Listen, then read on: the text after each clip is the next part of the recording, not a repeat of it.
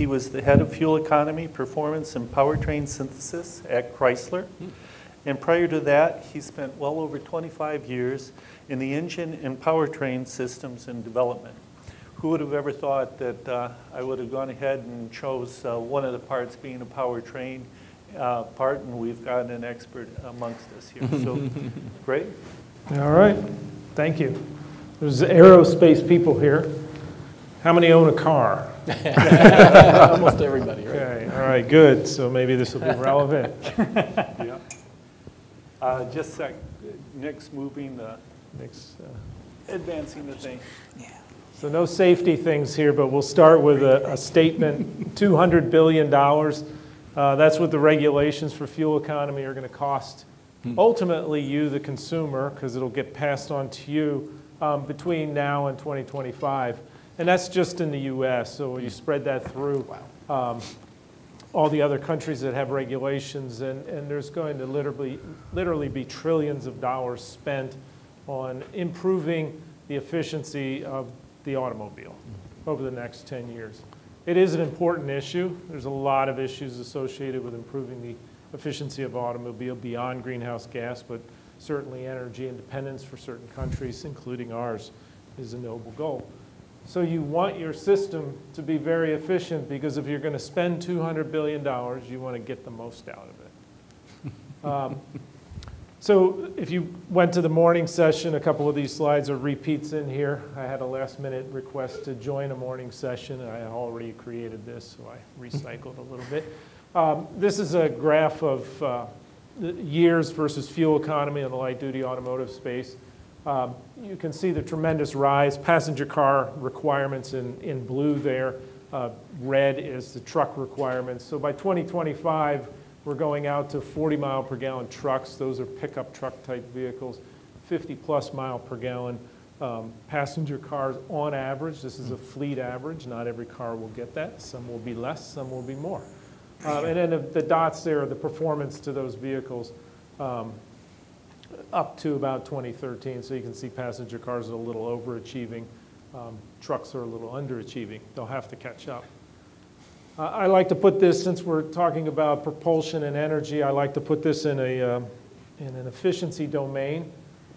Perhaps from the turbine systems, those numbers will look familiar to you, but um, the efficiencies of the light duty automotive are, are not great. Um, operating on the regulated drive cycles, they're about 20%. They need to go up to about 30% uh, thermal efficiency or overall cycle efficiency by the uh, 2025. So that's a 50% increase in efficiency. So if you're, if you're in the power systems area, that's a gigantic leap, I would say. Um, in your career, have you done 50% in 40 years? Not likely. Um, you end up uh, 50% in 10 years is a, is a gigantic goal, hence the $200 billion um, price tag. Uh, and, and this is, becomes an important systems engineering, again, because you want to get your 200 uh, billion uh, put to good use. This is what the automotive companies are doing right now in response to those regulations. I'm looking at the US here. And um, really, if you look back, I'm starting this graph in 1996 most of the technologies, if you follow the auto industry at all, or you at least follow the commercials, you've heard some of these, you know, direct injection, turbocharging, uh, seven and eight speed transmissions, stop start. Uh, those were non-existent 10 years ago. So what's happening with the automotive systems beyond the electrical stuff that we talked about earlier is the powertrains are becoming very complex, very diverse. It used to be when I started my career, everything was gasoline, naturally aspirated, four-speed transmissions. Now the auto industry is all over the board. You have to have control systems for every one of those different iterations. And in some cars, there's multiple iterations. You look at a Ford Fusion, you have a DI turbo, you have a hybrid, you have a naturally aspirated, you have a battery electric. All in one car. The control system, basic control system has to cover all that complexity. So that is, is driving a, a quite a, a challenge within the auto industry. Um, so just to take a quick look at systems challenges, really revolving around fuel economy, because that's what I wanted to talk about here with the energy side of it. We talk about the powertrain. Um, most people think about the engine or what we call the power source. but it really also encompasses the transmission, the drive line, parasitics, like you have to cool the engine, uh, power control system, en- energy recovery, kinetic energy recovery on hybrids or heat energy that's coming, exhaust emissions control. That's a, that's a very large and costly element of your car. In fact, people are cutting your catalysts out of your car if you leave them out because the precious metal in the catalyst is so expensive. Evaporative systems and energy stores. That's what we call the powertrain in the automotive space. But when you want, so when you want to get fuel efficiency out of this powertrain, you have to consider all of these elements of the powertrain, not just the power source or the engine. Now, I'll give you an example at the end of the discussion where we believe an OEM focus only on the power source and not the other parameters of the powertrain. Now, when you want to get good fuel economy, you have to think about the other elements that make up fuel economy. There's the parts of the car that aren't in the powertrain, the aerodynamics, the brake drag, the tire, the tire rolling resistance. The driver, how you drive your car is going to affect, significantly affect, how, where you drive your car, which is the drive cycle. Do you drive on the highway? Do you drive in the city? Do you start your car for 30 seconds and shut it off every day? How do you drive it? It's going to have a big impact. So we have to consider all of those when we look at the total energy demand function on, a, on an automobile. And then we talked about, I think it was very good in the beginning, you had your nodes. I have my nodes too.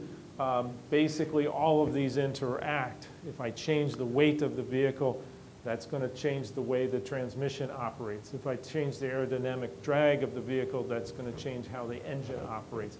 So you have to consider all of the interactions of the system to consider how you're going to achieve these fuel consumption and CO2 goals going forward.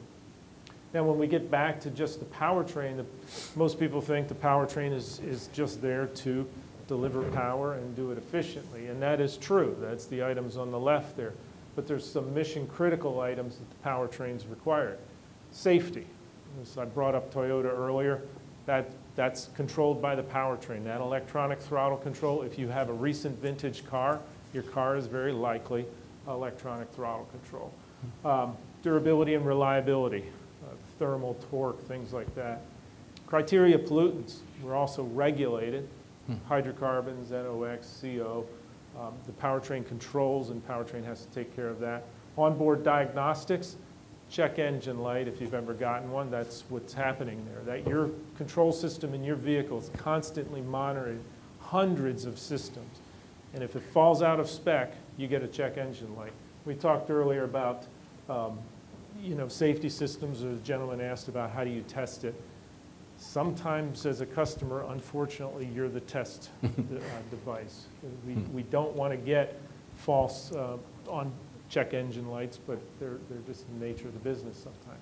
The auto industry is getting much, much better at that. Drivability, how well does the car feel when it drives and accelerates? noise, and then control system limits. And that's a very real issue within the uh, auto industry is, is these are highly, highly complex systems, but I need to bring them down into a control system that's affordable, that we can put software on, that we can actually write the software to control it.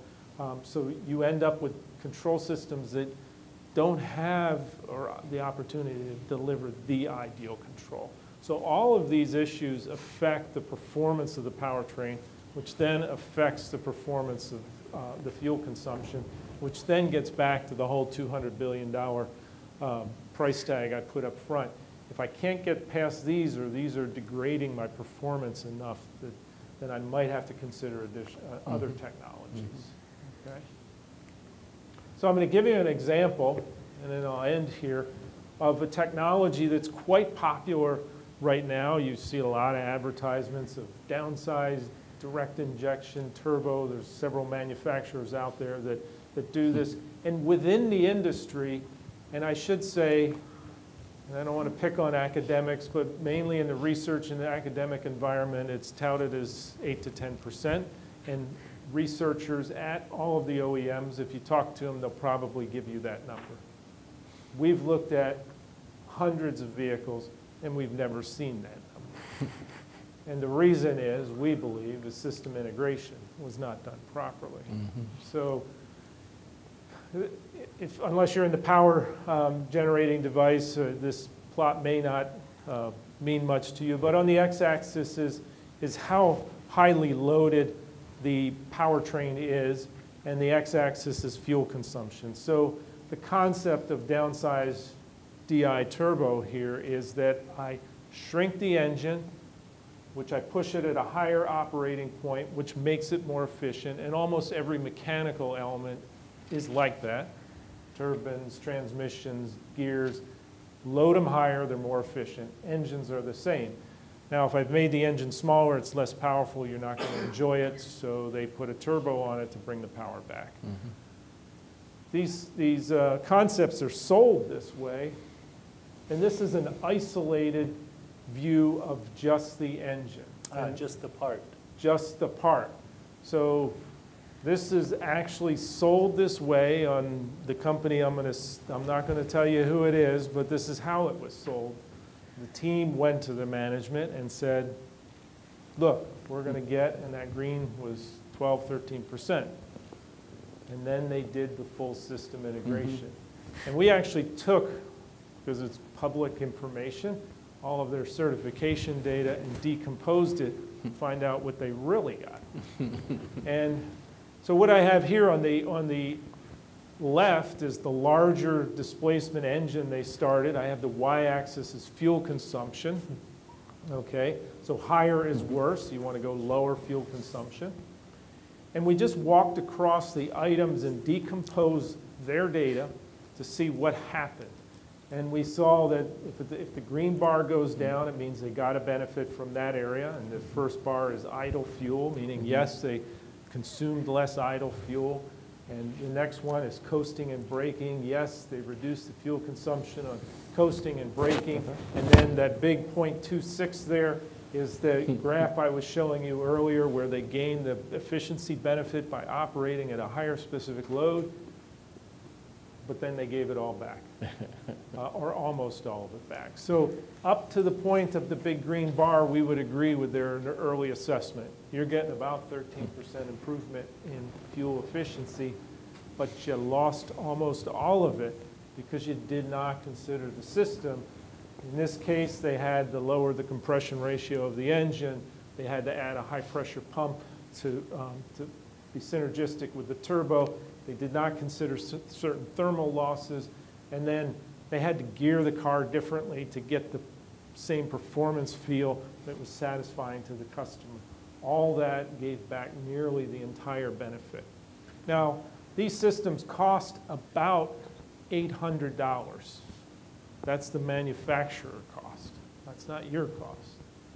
So 800, they went in, they might have sold it as a 12 to 13% improvement at $800. The management said, that's pretty good. When you're in the auto industry today and you're spending 100 hours or less per percent of improvement, we're, we're taking it. That's, it may not sound like a mm-hmm. good deal, but that's a great deal today in the auto industry. Well, now you just made that thing 300 hours per percent. It's no longer a good deal. Hmm. So the failure here was up front, they did not consider the entire system. They considered the part. By the way, to retool an engine, a high-volume engine, redo the plant, change all the tooling, you're looking at about a billion and a half dollars. So in our view, that was a billion and a half dollar mistake. Um, Now, how did they recover? They're attempting to recover. They're doing things to the car to help recover it, so you as the customer still get the benefit, but it cost them, and it set them back. So some takeaways here from our perspective of the auto industry. First of all, cost effectiveness is key, because you as customers don't want to pay the, the price of getting to the 30% if we just um, put on some high-tech technology that's going to cost a lot. Um, These cost-effective solutions really are the way for um, uh, customer acceptance, um, because we could today add a lot of technology to a car, achieve the 55 miles per gallon, but nobody would buy it because it's too expensive. Technology strategies early, early on in the phase when you're going, this maybe perhaps gets to the architecture question, it must be evaluated looking at it from a fully integrated system, not a part. So don't look at the performance of the part, consider basically the failure modes and effects or integration failure modes and effects of what could happen to that strategy down, downstream there. Um, and, and don't evaluate these technologies in what we call an isolated or controlled environment. In that case, it's in a very clean test facility running at a very specific operating condition under very specific conditions. That is not how you drive your car, and the system should not have been evaluated in that mode. Um, manufacturers and suppliers and researchers need, eh, certainly in the auto industry, to, to spend more time, I believe, on integration focus rather than just technology focus. There's a lot of technology buzzwords in the auto industry. There's not a lot of integration buzzwords, buzzwords in the auto industry. Um, and then regulators really need to understand these interactions because when regulations are made on other parts of the vehicle, it challenges the interaction effect of the spider web I showed earlier, has some negative, sometimes negative consequences to, to the results. Oh. Thank you, Greg. There we go. You know, the, uh, the fuel efficiency number was a system behavior number, and people got lost and simply thought that a part would get you all the way there. Remember, remember what a system is. A system is built from parts that interact together in a specific way to achieve a, uh, a, an objective or a behavior, where no one part can do it by itself. It's a really good example. I was in the NRO as well, Paul, and uh, I was in the system analysis staff branch they had there. I was worrying about a part that uh, I thought made a 10 or 15 million dollar difference. And um, my career mentor at the time took the equivalent of a baseball bat and went, wham, your job is to worry about $200 million issues, not four or $5 million issues. And Right. his point at that time, actually her point at that time, was don't you get lost on, on the diesel engine uh, in this element, when if you don't get the rest of these things balanced properly, you're going to cost me more than I can ever imagine. Good Right. career advice, powerful career acceleration and thinking about it in a systems point of view. Another wonderful conversation um, is going to come here from Don Burns. Don is the head of Innovative Systems Engineering at Rolls-Royce Corporation, right here in Indianapolis, Indiana. He's held positions as Chief of Dynamics, Engineering Director of Transmissions and Structures, Engineering Director of Combustion, Engineering Director of Propulsion and Power Systems, and as I had said, is presently the head of Innovative Systems Engineering. Don? Okay, thank you. Uh, I may change things up a little bit here. As my title says, I'm uh, focused on innovation systems engineering. And what I'm going to uh, describe today is what I think is uh, the the role of human element in innovating and getting that innovation to, to a product.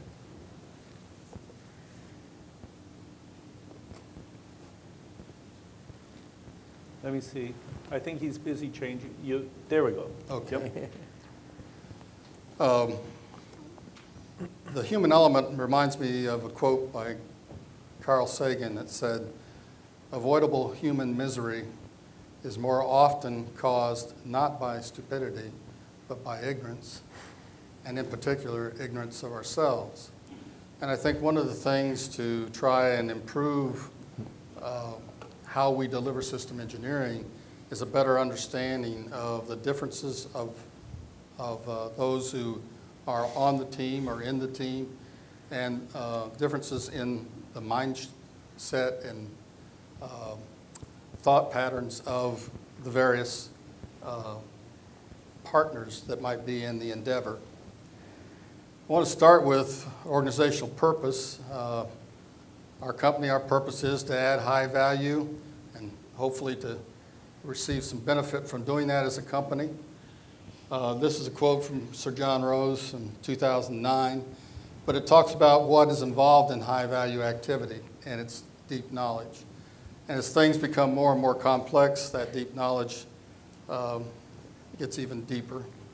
And all of these characteristics, I'm not going to go through each one of them, are, uh, call out and require people with great depth in each one of those. But to really deliver that high value, you've got to integrate that depth. Um, People with depth have a certain mindset. They're, they're very focused, uh, often blinded by their depth. And so integration requires uh, getting them uh, into the group, getting them more acclimated to deliver that. I think INCOSE, in the Vision 2020, started to recognize that there is human limits.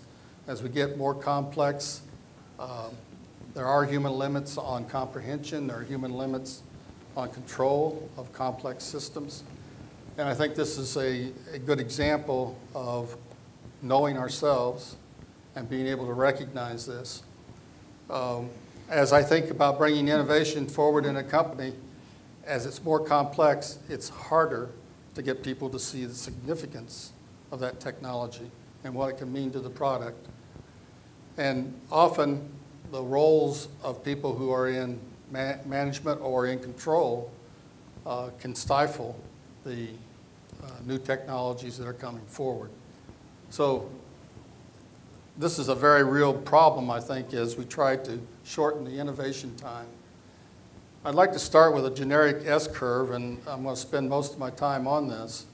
Uh, You have value on the, on the uh, uh, y-axis, and then you have time and maturity and investment on the x-axis.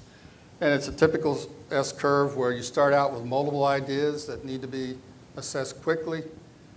Uh, and then you move up and try and take those ideas that winnow out and, and uh, may more quickly get them uh, into a development and into a first product. And then uh, up towards the top, you try to introduce that into uh, a product for, uh, for the business. And up there at the top, you're really concerned about minimizing risk. And down at the bottom, you're concerned about searching for opportunities. And in between, you're trying to balance risk and opportunity. I want to mitigate the risk, but I don't want to lose the opportunity. In each one of those areas, there are uh, multiple teams, and often in, in uh, business today, there are global teams, there are university partners, there are government partners in trying to develop this technology. So there are a multiple number of people with different mindsets and perspectives on what they're trying to accomplish. So one thing that I think we need to recognize that each one of these areas, the strategic research area, the development area, the NPI area, all have their organization, their culture, their uh, uh, enabling parts of the business, and that these are different for each one of them. And also, there are different skills and different mindsets of the people and the leadership in each one of those three areas. Maybe to bring this out and, and make it more real, I would call these people down here at the first part of the curve explorers. They're trying to discover what is that next opportunity? What could I do? And that's their focus. Uh, the people in the development area are pioneers. They want to take the ground that's been uh, uh, captured by the explorers and they want to want to start developing it. They want to make those ideas a reality. And then you have the settlers who are trying to perfect and optimize that reality and uh, make it to the benefit of all. So, sorry about that. Go back. So, it's important to recognize that there are gaps that occur between each of these areas that tend to slow down innovation. The handoff from the explorers to the pioneers uh, tends to have a gap. From the pioneers to the settlers tends to have a gap because of the differences in mindset. So what's really needed here is uh, a system integration, a mindset that looks at the whole picture and can mitigate those gaps between these different mindsets to increase the, the uh, pace and the efficiency and effectivity of innovation. One way to do that, I think in the 2025 vision of INCOSE, is to look at broadening uh, the role of future system engineers, giving them a broader mindset that allows them to, to manage across this S-curve. Uh, that mindset has to have more of a social uh, training in it, if you will, because you've got to deal with those people and get them to understand one another. And there has to be a development of tools to manage this human element, I think, going forward. The training is very, going to be very important to integrating uh, these concepts into system engineering and the management of the human element in system engineering.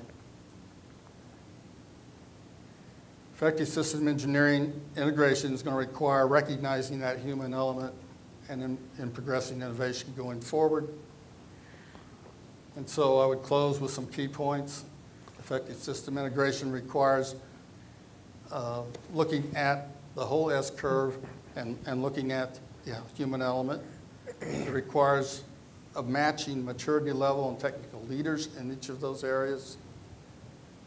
It, uh, you need to focus on matching leaders with a maturity level of technology, and you may need to bring some settlers down into the pioneers, some of the explorers up into the pioneers, and cross-fertilize to get the, uh, the handoff to be improved. You need to match processes and tools for each of those areas. And finally, need to keep stakeholders engaged and guide expectations based on that maturity journey. Well, this might seem simple, but it's not. It's not simple in the sense that, uh, it, again, you're dealing with the human element. But what I wanted to bring it forward for was an awareness of why it's so difficult to innovate. Uh, no one in this chain of uh, innovation development uh, has a desire to hold up innovation, but it's the different mindsets that need to be integrated and the different behaviors that need to be integrated to speed up the pace of innovation. That's it. Well, thank you, Don. I'd like to introduce Jon Wade.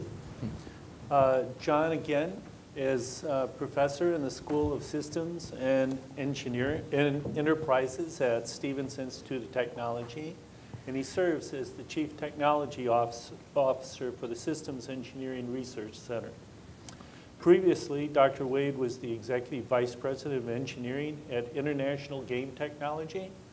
You'll have to take him aside. He's got some fan wonderful stories. I bet. Where he managed corporate-wide research and development. And he is batting cleanup for us. Jon? Thank you. Amazing. We've got, what, 20, 20 odd people? I think there's more people now than when we started, so uh, Yeah. thanks, for, thanks for that attention. So talking about the energy marketplace, sort of thinking about where we've been traditionally with energy and where we're going. And on the left, I've, I've got the Coca-Cola machine, which sort of represents, you know, the consumers of, of electricity. It's, it's always there. There's a huge, vast network or infrastructure that makes sure that that Coca-Cola is in that machine, and it's cold for you when you want it. But that's, that's basically the way the world looks. As we're moving forward and people now have the opportunity to generate their own power, you know, to actually take their car, put it in the grid, plug it in, and actually use that as a means to store energy, we're changing the picture dramatically. It isn't a Coca-Cola that you buy, but actually it's more like a, an open bazaar, you know, where people are going to be producing electricity, putting electricity on the grid. It's a distributed type of uh, application. And we have a situation that, that moves from something that's complicated to something that's complex. You know, uh, one of the questions in the earlier part of the session is how do you deal with that kind of complexity? And I think that's where we are with respect to systems, is we're moving from systems, you know, that are, are very complicated, but we're moving into a realm where systems are, are quite complex as well. I mean, if you look at um, look at systems, you know, traditionally mechanical, electrical types of systems were the beginning systems we had earlier last century, moving to electronic with isolated islands of software to software-intensive systems to network-intensive systems, and then moving on to enterprise um, uh, systems of systems and, and you know, vastly larger systems. If you look at the automobile industry, what's remarkable to me is how far they've come and how quickly they have to go because we're talking about automated automobiles. You know, what is that going to look like? I mean, that's a whole different world than, than we've seen in the past. So moving from something that was, you know, 20, 30 years ago electromechanical to something that's, hmm. that's software intensive to something that's going to be part of a larger ecosystem is a huge change for us to make in a fairly short period of time. And as we sort of move up this chain, we've increased the complexity, um, the ambi ambiguity, there's less control, there's more uncertainty, and the question is how are we going to, to address these challenges moving forward? If you look at the classic V, you know, the systems engineering V, the challenge with V is first off, it just takes too long to get to the place where you actually validate the system. Does the system actually do what we want it to do? Um, and, it, and it's too late quite often. Uh, having developed computers, we called this, we brought in marketing and then they had to create features out of all the defects you know, that we created as, as engineers. And the better marketing people could make it sound better than, you know, than it actually was. But the challenges that we had often in engineering were not that we didn't do a good job engineering, but we didn't understand how the system was actually going to be used. So for example, we, the marketing folks said, make sure the system never goes down. So the engineering developed all these means by which the system would never go down. But it, as it turns out, in our case, it meant that the service personnel had to go through this very complicated sort of recovery plan. And if they did anything wrong, they were going to get corrupted data. And if you're a service person and the system goes down, they, they yell at you. And if you corrupt data, they fire you. And so in essence, we were asking them to risk their careers each time they tried to use this capability and they never used it because we never validated it. We never checked end to end at the beginning of the program. So sort of see the V disappearing, you need to do the validation, you need to, you need to do the verification up front, and you need to do it continuously. It isn't something that you've done, you check it off, because the world changes, technology changes, your product changes. It changes as it's being developed because people are changing the way they design, decisions are made, and that sort of thing. And so we need to move to the place where we, we do continuous coherent development where we're leveraging the computation, visualization, communication, information and such so that we're doing these activities all the time. And I have seen some companies be very successful with continuous V&V, but it requires three things in every, every company I've seen. It requires a commitment because these sorts of things take years to develop. It isn't something that's going to give you payoff immediately. You have to be willing to go to root cause. Whenever you see something fail, you have to understand why did it mm-hmm. fail rather than just say, well, it's a bad test. And then the last thing you have to do is you have to automate. Unless you're willing to do all three of those things, you're not going to get to the place where you can do continuous V&V. But I think it's an essential capability if you want to keep up um, with technology and the way these systems are being used. Uh, has anyone heard of Conway's Law? Mm -hmm. we've, we've got one. I believe this so powerfully that any organization that designs a system will inevitably produce a design whose structure is a copy of the organization's communication structure. I totally believe that. You know, I've seen a you know, software organization that had two compiler groups, and guess what? They had two compilers. You know, it just always works that way. Uh, the last company I was at when I was at IGT, first we focused on what's our vision, what's our strategy, then what's our architecture, and I think you know, all the panelists have have discussed the critical importance of architecture. Once we had the architecture in place, then I invited all the management into the room and I said, here's the architecture. Do we understand the architecture? We went through yes. Then I put up the org chart, which was exactly the same thing. And I said, do we understand that? Now, the thing about it was the first level managers were gleeful because they, they understood what they were doing. The, the directors were a little uneasy and the VPs were ripped because these fiefdoms that they'd accumulated over 20 years were now being taken away from them, you know, in place of something that made, you know, a lot more sense in terms of the way the architecture played out. But I can tell you that when we did the development, the product looked like the architecture. And I've done it the other way around where it tried to make it look like the architecture and it, and it eventually looks like the organization no matter what you do. So when you're doing your integration, you are going to see your organization. You know, and if your organization has a lot, you know, a supply chain that's disaggregated and it's not aligned along interfaces, that's what you're going to find. So there's no surprises and no shocks when you're doing integration because it's going to look like your organization. So take your organization, draw the critical interfaces in your system, superimpose it, and where they don't line up, you're going to have huge numbers of failures.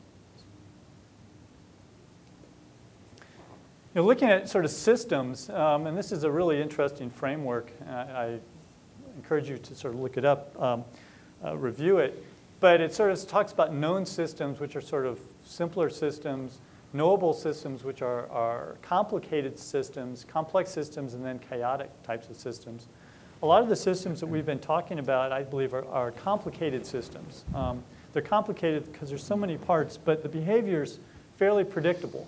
Now, one of the challenges with these is that cause and effect could be separated over time and space, but they're predictable. I mean, they're analytic. You can use analysis. You can use reductionism on these types of systems. Um, and the approach you usually take is sort of a sense, analyze, and respond. As we move from the Coca-Cola to the bazaar, we're moving into complex systems. And these systems are quite different. Cause and effect are only coherent in retrospect, and they do not repeat. So if you were to take that system and move it in time and let it play out again, it might play out to be very different than the way it played out in the past. Um, and so when you have those types of systems, really the best you can do is, as we talked earlier, oops, um, is to um, is to put in instrumentation, probe those systems, and try to see how those systems are behaved, sense those systems, and then respond to those. If you look here, if you're starting in the system uh, space where you're looking at complicated systems and you want to move to a complex system, explore. Don't just jump whole hog and say, okay, we're going to try this, this, this new system. It's going to have all these um, complex capabilities. Try a few, explore. Understand that if they don't work, you can sort of fall back. Uh, sometimes people will work in the complex space and they want to sort of nail things down and make it more predictable. And in that case, you really have to sort of move back here uh, and, and use some of the templates you know, that you have in this space. But when we're talking about moving systems forward, I believe we're going to be moving most of the systems we have from this complicated knowable place into this complex space. Mm-hmm. So we have to embrace, embrace complexity, and I think that that means that, that moving from the belief that we can understand how a system works deterministically to how a system behaves probabilistically you know, my mm-hmm. generation, you buy a new OS, you actually would buy a book and pull it out and try to understand how it works. Forget about it. You know, the approach, I believe, where you just try to see how it behaves is going to be much more, um, uh, mm -hmm. much more effective because the system's changing continuously with time. Again, if it's a complex system, every day is different than the past day, so you can never keep up with it if you're trying to deterministically understand how it's going to play out. You have to look in terms of how that system behaves. So what can you do? Uh, first, I think you need to, you need to instrument and you need to monitor the system. Uh, if you don't understand the system that you have, how can you possibly understand the system that you want, that you want to create? As we mentioned, I think everyone mentioned, most of the systems we create are brownfield systems. Oh, for the glory of greenfield systems, which is funny because in academia we tend to just teach greenfield and we don't teach brownfield at all and what they're going to find are brownfield systems.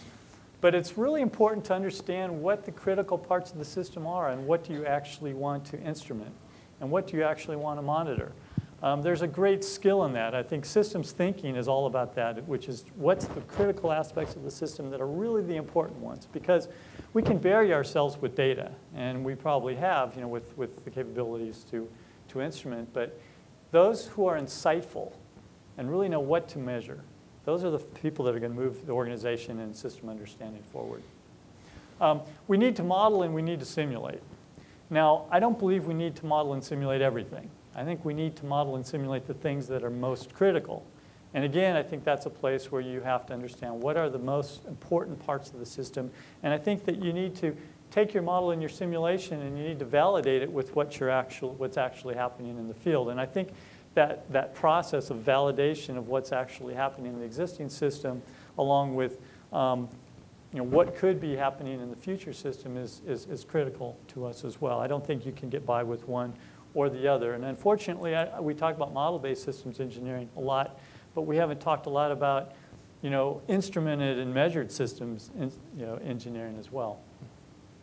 And then I think we need to apply some, some big data analytics to, to all the information you know, that we've, we've collected.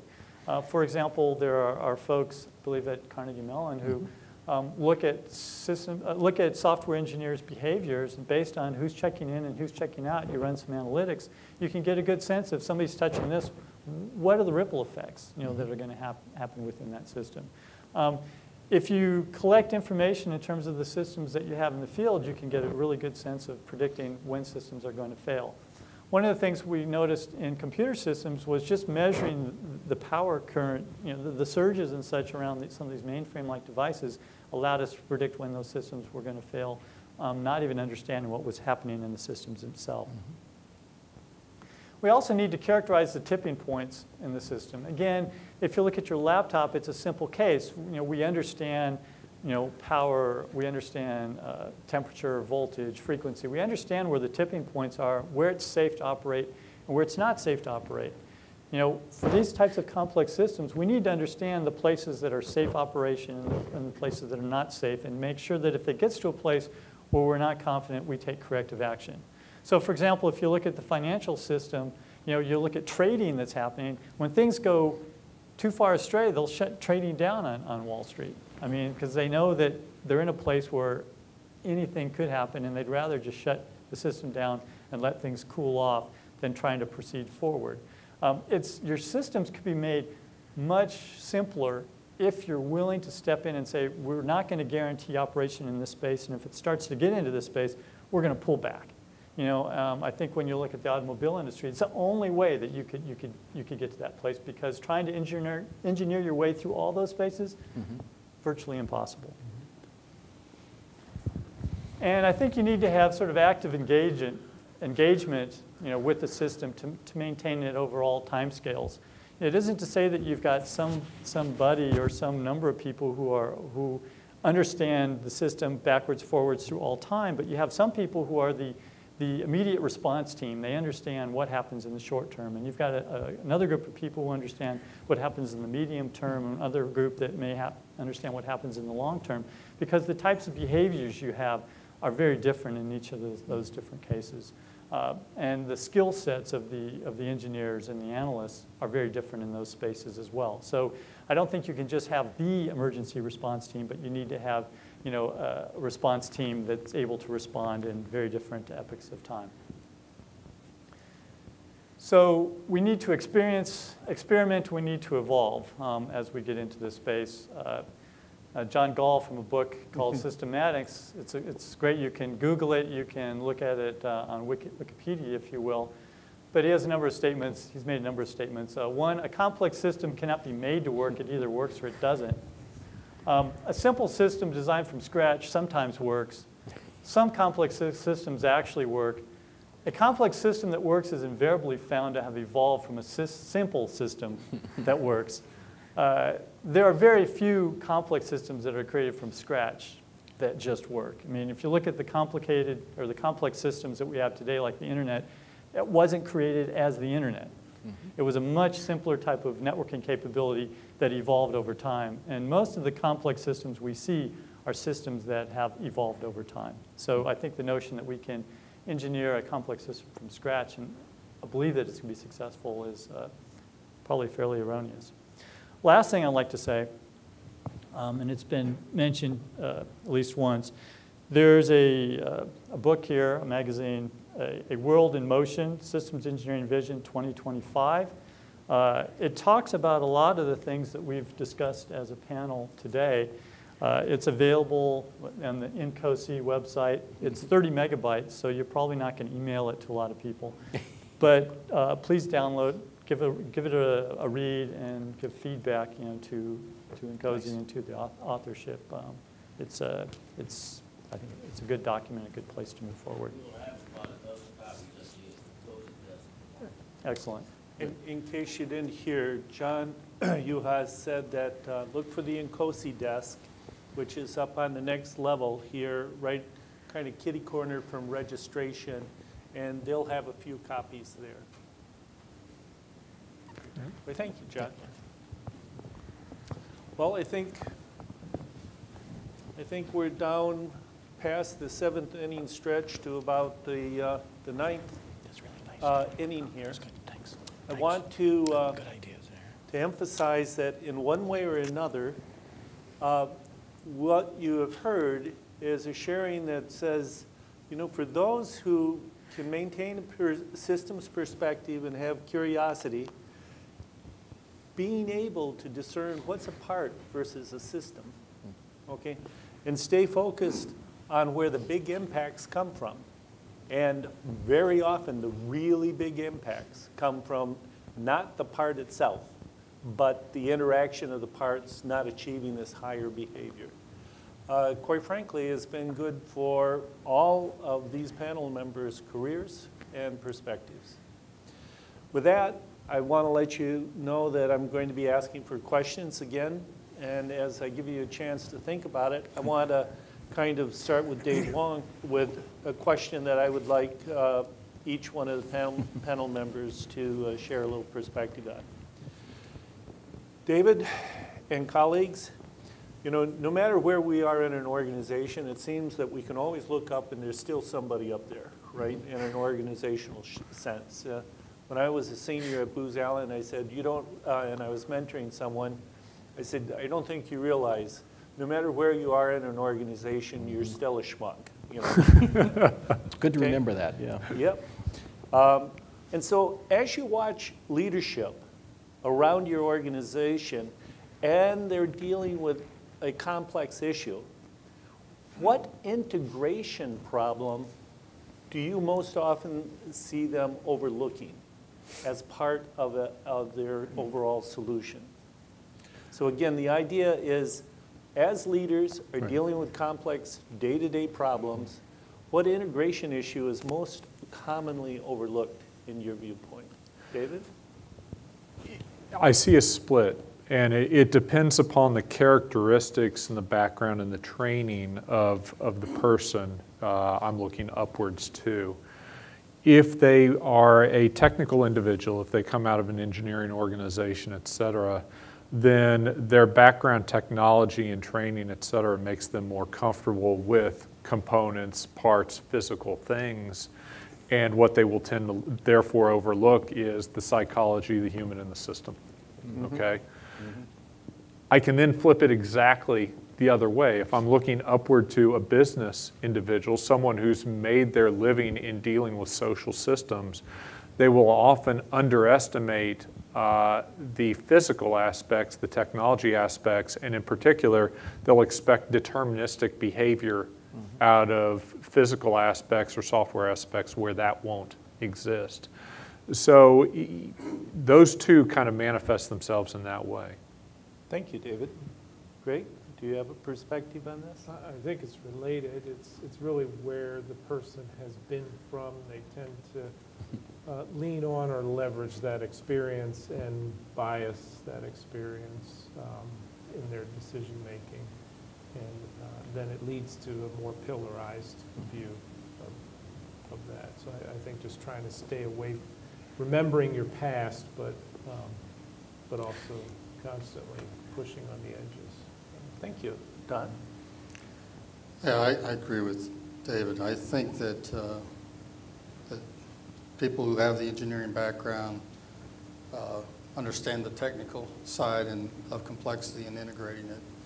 It does come down to the human element and uh, making sure we have the right, right skill sets, the right people in place to, to execute. And that's difficult. Uh, I, I think that there is, as INCOSE has pointed out, a growing awareness of that gap. And uh, I think that uh, there is a, uh, a growing change within our organization to recognize that. Well, Thank you. Eric, what perspective do you have to share? You know, I, I would say that uh, the concept of understanding at what level do you want to optimize, because whatever level's chosen to optimize, you will sub-optimize the other levels. And understanding whether you want to optimize at the subsystem, you want to optimize at the system, or optimize at the component level, depending on what you want to sell, what your customers want to buy, and how do you bring value to your customers complex topic that, uh, and, and really critical to just setting the business strategy as well as the architecture for any system. Paul? Well, I would agree, as several have mentioned, that this interface between the technology and the people is kind of a, a big issue.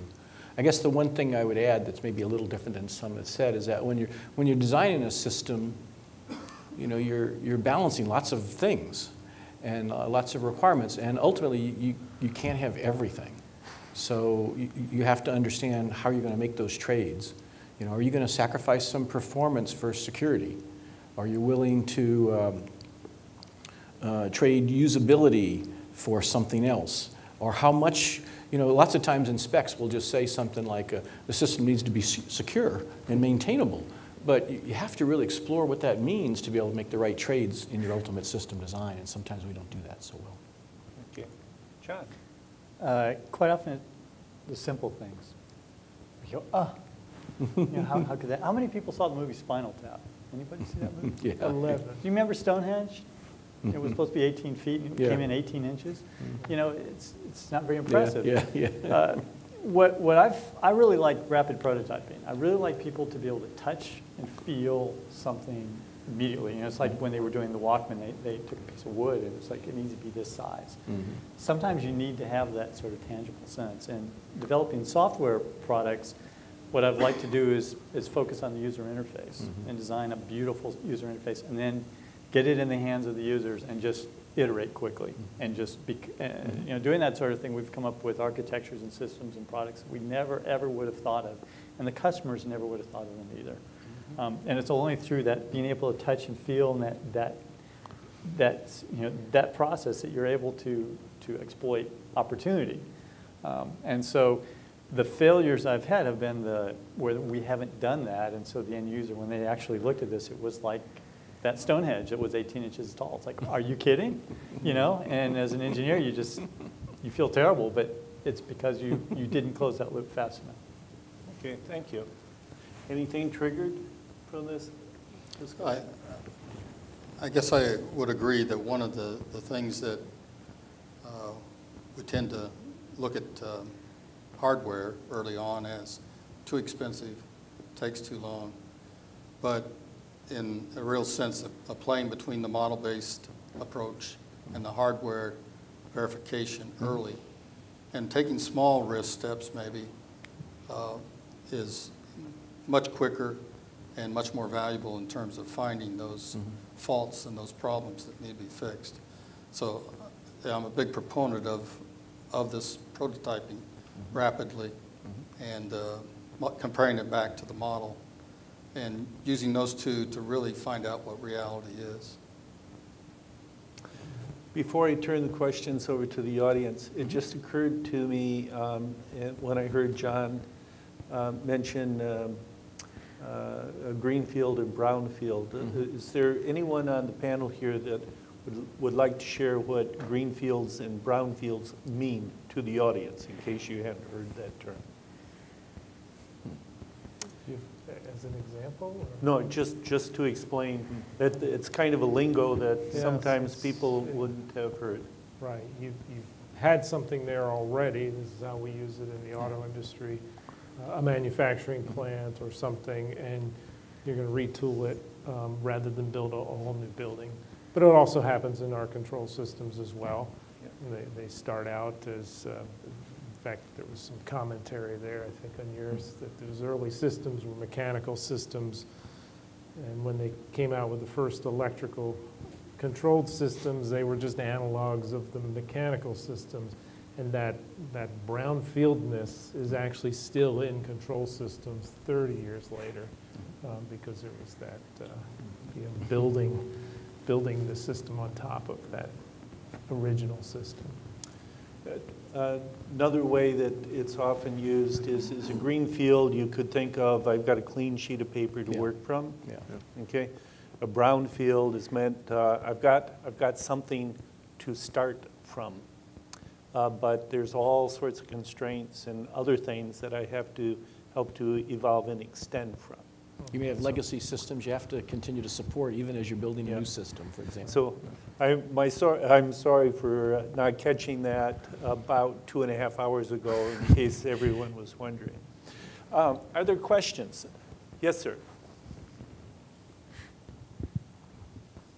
So I work with space systems, and uh, there's numerous uh, stories about lack of systems engineering causing extensive failures and so forth. But I was interested in the other side of it, that uh, you could also imagine your response to that to be uh, very rigorously, rigidly specify interfaces. And You're talking about complicated, you know, more complex systems with more and more interfaces. And so my question is, I want to know how to tell whether you're doing good, robust systems engineering, or if you're just adding excessive bureaucracy that's going to cost a lot of money and not get you much benefit. Great.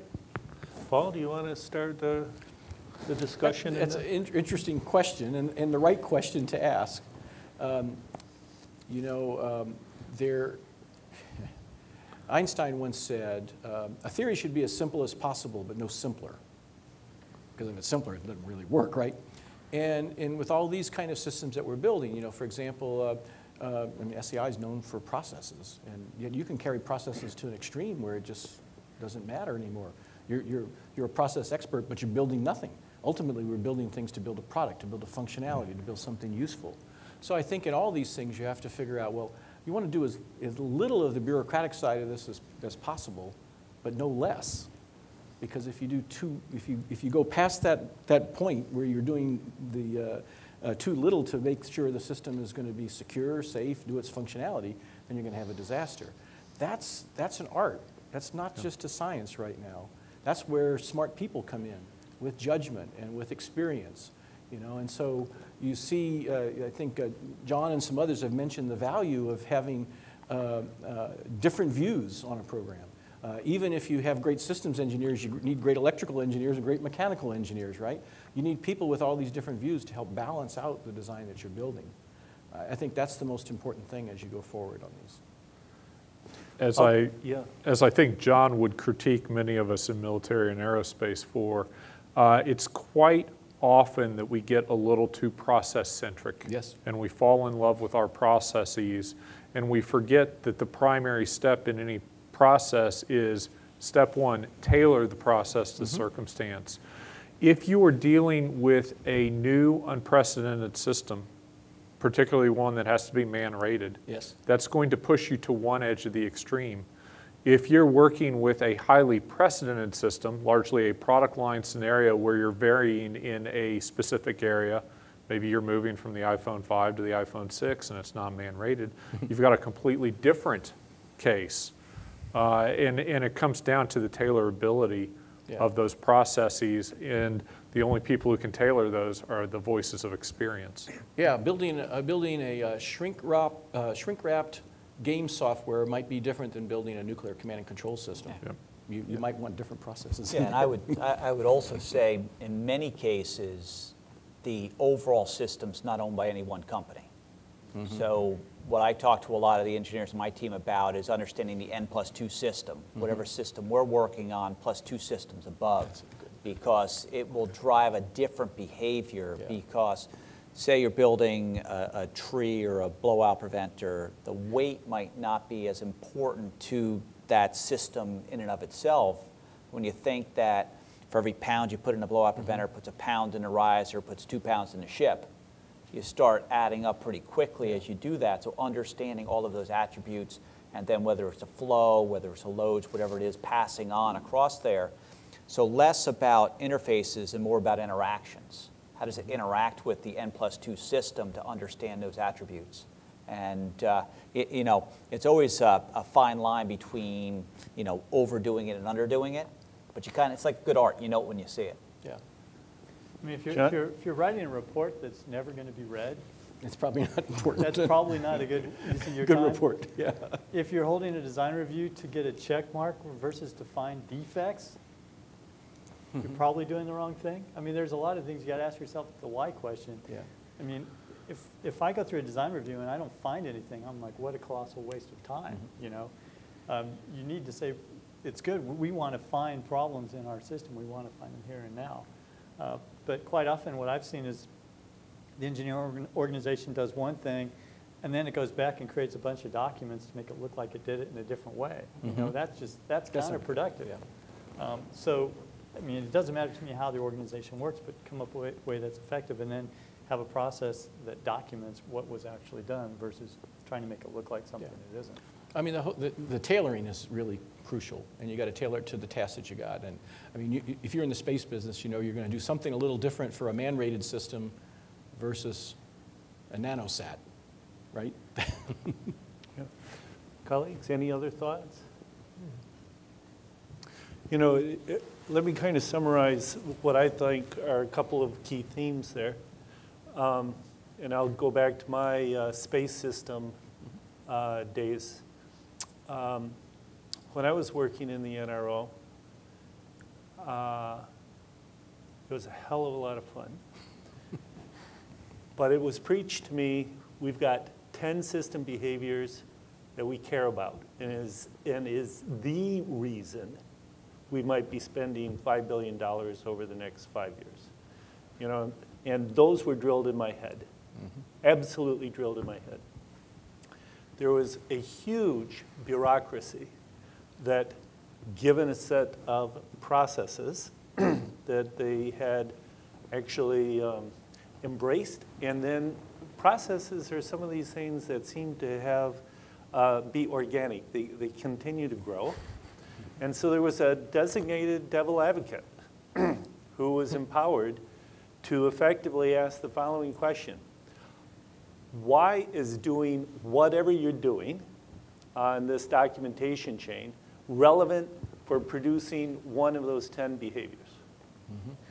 And this, and I can tell you, I have seen organizational cultures who are not healthy mm. simply because they will not embrace the devil's advocate that is paid to say why. That kind of bubbles it back to the mission objective and things.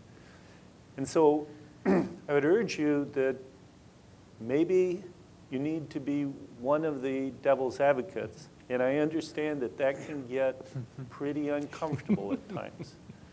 But if you do it in a powerful, non-judgmental way, one, you'll show a level of leadership behavior that I don't believe will be missed by people who are interested in your career. And you might be able to do some things that are very important for your organization and its mission. And even in your own work, that's a good thing to ask yourself. Yes, Sometimes challenge yeah. yourself. Why am I doing this? Why- How yeah. is this going to contribute to Am the I- mission? Yeah, have I just slipped into the same rut that I did it yesterday? Yeah. I, I wish that that one didn't sound so familiar to me right now. How about other questions? Yes. Yes, ma'am.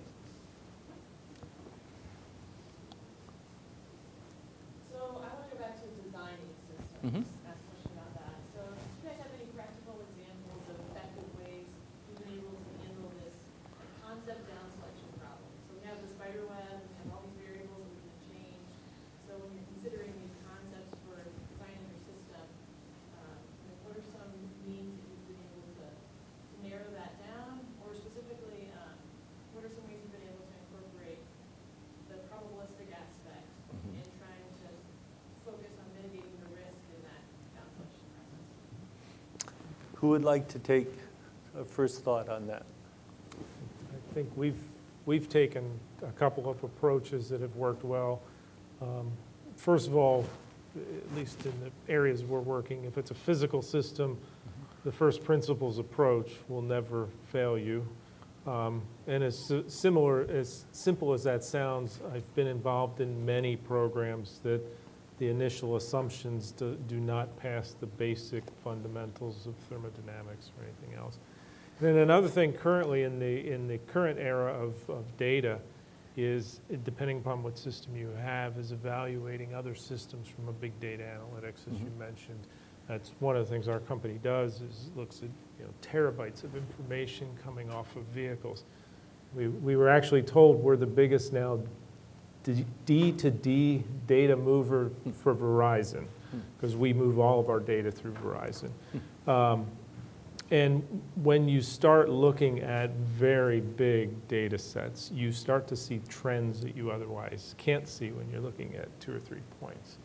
Um, So those are the two areas that have really helped us out stabilize systems and understand systems. If you don't have the large data sets available, um, perhaps there's ways to generate those uh, separate. Thank you, Greg. Other thoughts? Well, modeling sim is a big, big part of that, obviously. Um, When you're on the government side, you, you end up receiving all these different designs that contractors bid to you. And so you see the, the, the different approaches various companies are taking and designers are taking. Uh, often, they're taking an approach based upon their own heritage. you know, what do they think they're good at and what do they think is risky for them? And so you'll see some different approaches that way. Then on the government side, just as you would inside a company with a bunch of designers, you got to start saying, well, what's the most important thing to me? What's the risk with each of these approaches to achieve that which we're trying to get? And uh, I think where, where sometimes the government has gotten themselves in trouble over the last uh, 25 years is, is having too many critical things. If you say all these things are critical, then really ultimately none of these things are critical. You got to really have a few that you say are the sacred ones. Yeah, I, I would also say more of a, a generic comment is making sure, sure all assumptions are listed. Mm. Because too many times, something is an assumption, I it's think it's true, it might be true, it is true, and they can never be questioned again as you go through the process. Mm-hmm. So we, we tend to talk about leap of faith assumptions. The following assumptions were made, and they have to be true in order for the outcome to happen. And then how much would it cost, and how quickly can we validate or invalidate each one of these assumptions? And, and we talk about minimum viable products or minimum viable tests that get us to move as quickly as we can and as cheaply as we can to validate or invalidate it. And the, the other thing around that too is either validating or invalidating is success. Because mm-hmm. either way, you're a lot smarter and you move forward. It's not pass or fail, it's validate or invalidate and keep moving Right. forward and make the right decisions as you move forward. Well, and one thing building on that, as programs go on, sometimes you can't validate or invalidate. It's an assumption that you're carrying. So therefore, it's important to lay out up front when you make that assumption, what data point could I see? What behavior would emerge that Right. would tell me that this assumption is Yeah. now in a questionable Right. state? Because it could come, Yeah. Or what sensor would I add? There you go. In order to measure for that when the system goes out into the field. Yep. One of the, this, this isn't exactly your question, but one thing we're finding is that in, because we're evolving systems more, sometimes people have forgotten what assumptions went into them. And they start to extend these, whether it's a sim code or a real live system, they start to extend in, into a regime where the assumption no longer applies, and that's a problem. You know, make it, make it tangible and put it in front of the people who are actually going to use it. Because from an engineer, you look at it from an abstract sense, and it's just mm-hmm. numbers. Mm-hmm. You put it in front of somebody who actually use it, and they'll, they'll say, my gosh, I can't deal Can't live with with this." that. I can't live with that at all. Yeah. And it becomes much easier. Mm-hmm. And in today's world um, of increasing computational pa- capacity and ease of modeling and simulation tools, it's much, much easier to put that front uh, end on and stub almost everything else and have it driven by uh, first principle uh, model, uh, prin- first principle assumptions to start to get that type of feedback and things. Do you use much hardware in the loop uh, assessments in your job? Where you're, maybe that's not a, yeah, so a lot of what we do in the auto industry is, is um, have that physical piece of hardware and then write code to Yeah. actuate that hardware. Right. So we're not working totally in a software regime In or a model yeah. regime, Not but we have that hardware injected. Yeah. Sometimes it's multiple pieces of hardware. Yeah. And we're actuating th- act- actual uh, throttle bodies or fuel Mm-hmm. injectors, but running it kind of virtually as a model, that's also a- another way to kind of get your physical systems in there at the same time, so. I'm actually kind of also interested in, in the uncertainty quantification part of that. Like, how do you use probabilistic methods to then better quantify the models that you do have of your systems? So you move away from the deterministic models that you might have. Okay. That was kind of the second part of the question. And that's where we For- use the Yeah. big data And- to, and- to and start Monty- looking at those Yeah. distributions of. And Monte Carlo simulation, where you can simulate lots of cases, you know, with different parameters helps you out in that regard Yeah, too. and, and then going back to my earlier point too, where there's, uh, you know, lots of error in some of the calculations, that's where you would put a sensor when you start doing a hardware in a loop, or you start running your testing and those kinds of things to try to bring down your uncertainty around those things. John, while you're standing up, your colleague to your left, um, I thought wanted to ask a question. Do you, sir, want to still ask a question? Well, John's had a chance to ask one, so, uh, yep. First of all, I want to compliment this panel. I think it's been, been excellent. I mean, I'm really a big fan of system engineering. I actually picked the school I went to 30 years and graduated from because they actually offer a BS in system engineering. And I looked at the chart you guys put in that had these attributes on there, and I was like, wow, now I know why. That's me, that's me, that's my question to you, because my frustration is, the first company I worked for, we seemed to have an appreciation of system engineering. It was a very enjoyable job, but in the subsequent years of, of my career, I've had a real hard time finding places that really value system engineering enough Yes. to listen. So I kind of think of the, uh, the guy, I think of the Fram oil filter, pay me now, pay, or pay me later. Yep. Yeah. How do we convince these companies to invest in the infrastructure all the way down to the educational system where people want to do this because they see a good job out there, there's tools out there, there's companies that see that the return on investment as opposed to this short-sighted view where maybe the right system en- engineering is a, is a lip service thing, mm-hmm. but the first budget cut that comes along in the program is gone. Or they move it to the right, which you can't do in system engineering, as you Yep. point out. So is that getting any better? And Do you agree with it? And what can we do about it? I think that, uh, well, I- again, I just, I think unfortunately, often catastrophic events create Right. um, system engineering groups. Uh, Certainly in our industry, that happens. And and I think, Eric, you mentioned the same thing, you know, that you get a catastrophic event, processes are put in place, and often those processes include system-type people to oversee that function going forward. Now, it may dissipate 10 years down the road after Yeah. all is forgotten, but it's, it's certainly there.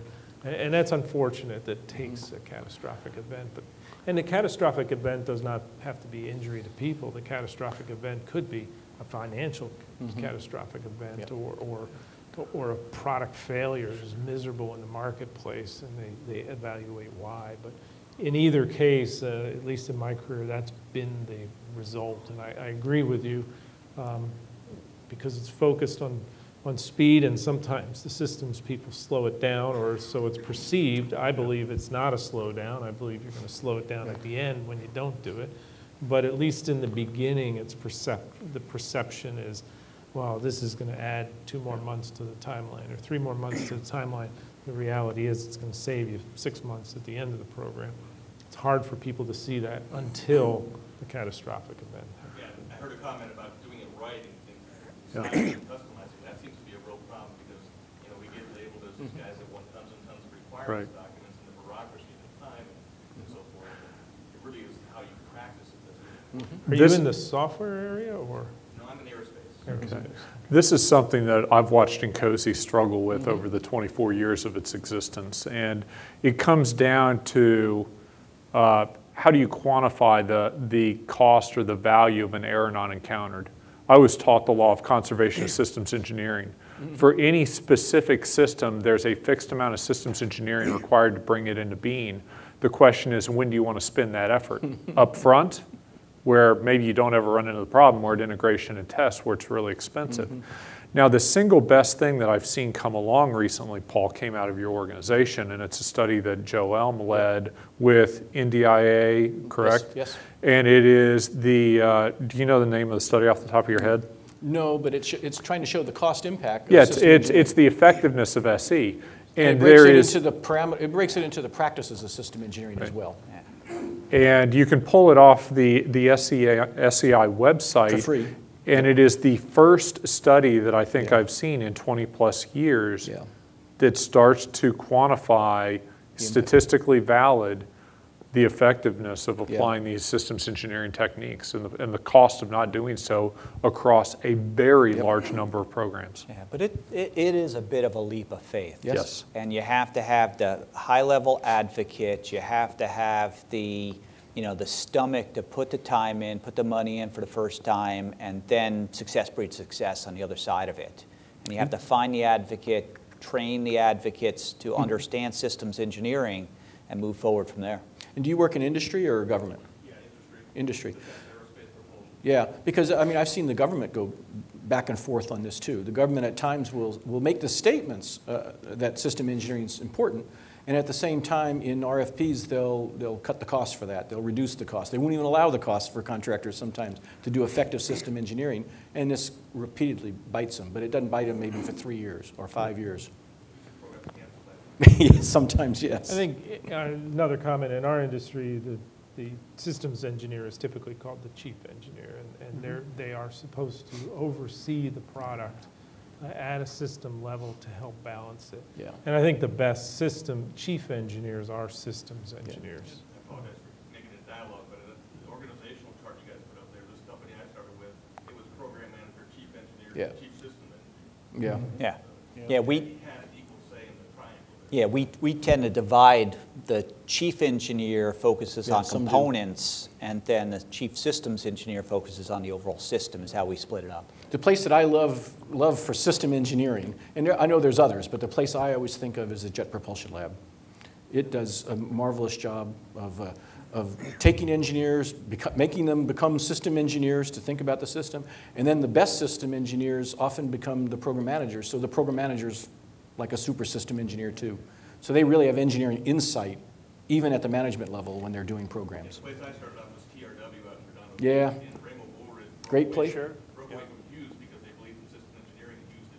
Yeah. Yeah, I know. And it- we used to have, we used to have satellite companies that were run by engineers, but not now. Um, John, we're going to take your question as the last question in this. uh, And as you're getting up, I'll share one other thing here. Um, There isn't a senior leader that I know that is proud of making a dumb decision. Okay? Now, that isn't, that, really hear what I said, that is proud to make a dumb decision.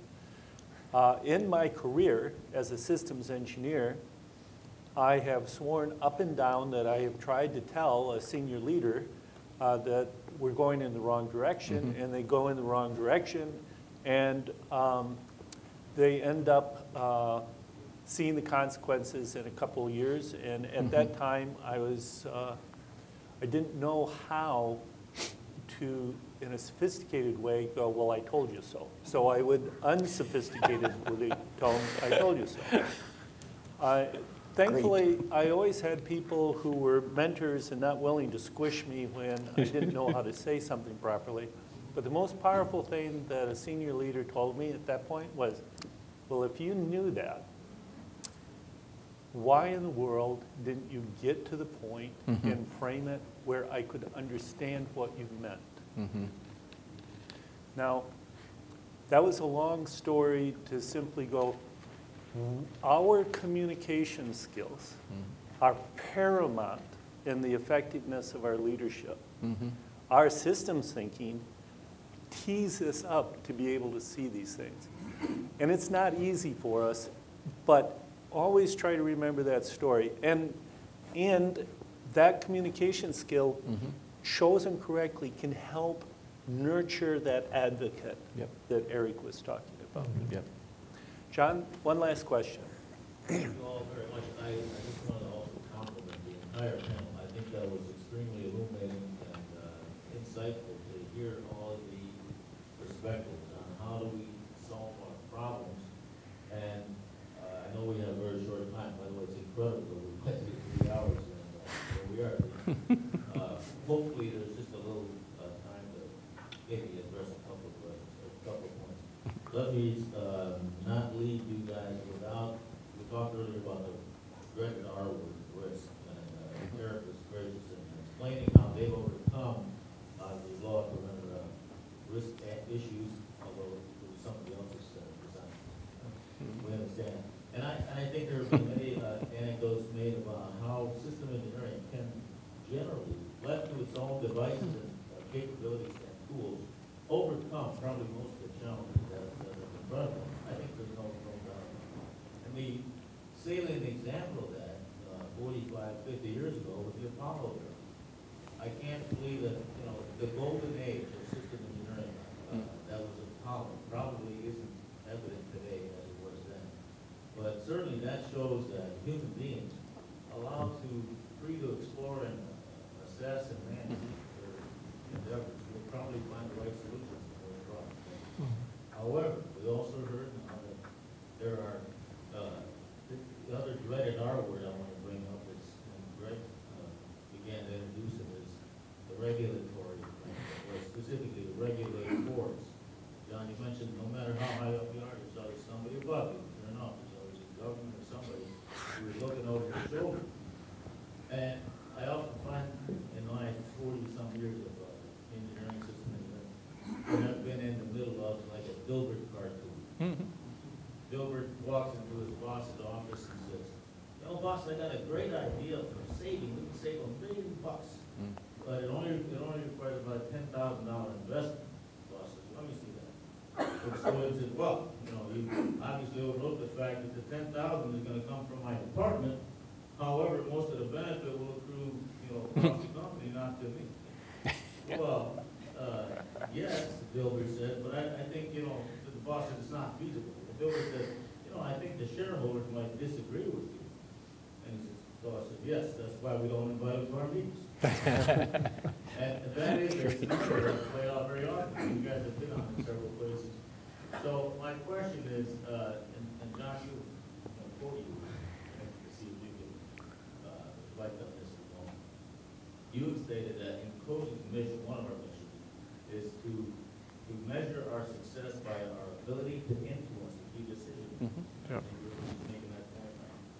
And yet, you know that there's so many episodes where, Paul, you mentioned that, you know, the system engineer had the right solution, but, you know, management, uh, overruled it. That was the case, by the way, in Columbia. The Columbia disaster could have been avoided, and it was recommended that they aim a telescope at the underbelly to see if they could. However, management didn't want to compromise the mission because it was going to be scheduled, on the schedule time. So we didn't do that, that critical stuff, overruled. So the question is, and uh, I'm going to come back to Greg for a second. You know, you showed the exponentially growing curve on the uh, CAFE standard fuel requirements that's in front of us. And at the same time, we also have exponentially increasing regulatory curve that will keep coming at the design process. At what point are we gonna be seeing a requirement for making smaller Hughes that'll fit into the smaller cars? You know, that's, that's bound to happen too. And so seriously, if we, uh, if we look at the situation of, uh, how do we avoid these problems? Is it the failure of system engineering when we can't convince management, or is it the management failure to understand the essential problem? And how do we overcome that? Okay, thank you, John. Um, And I guess you focused the, the question initially on me. Here's what I can tell you in my career. Um, I spent too many years, uh, and I'm going to make this real personal in the way I use these words. I spent too many years being arrogant and thinking that it was somebody else's job to understand me. Okay?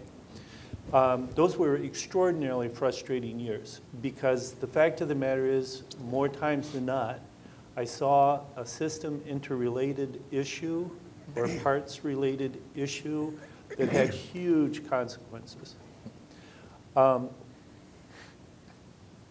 At the same time that I spent so many years insisting that it was their responsibility to comprehend my perfectly good thinking, um, I also ended up assuming, or I took, I took the lack of their understanding personally.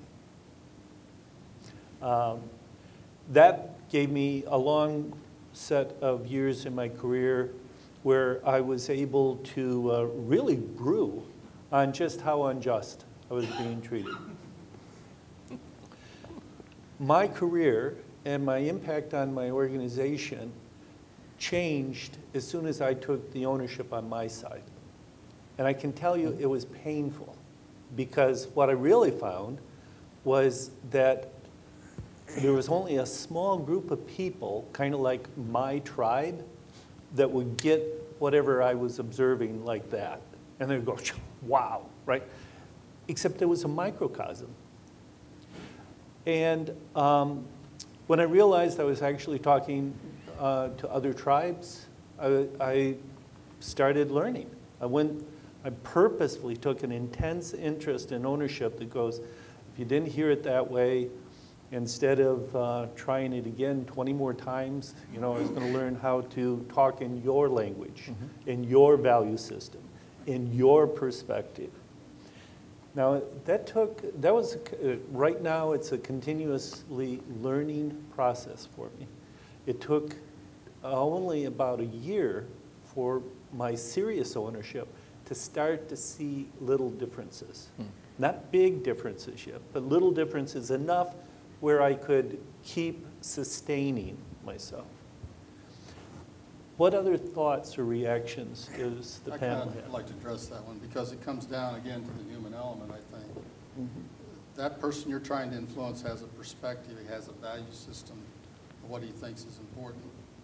And I think it's incumbent upon us to always be professional in our approach to them, always be proactive, always looking for another way to say the same thing over again, and always be persistent, always going back uh, again and again to get our point across.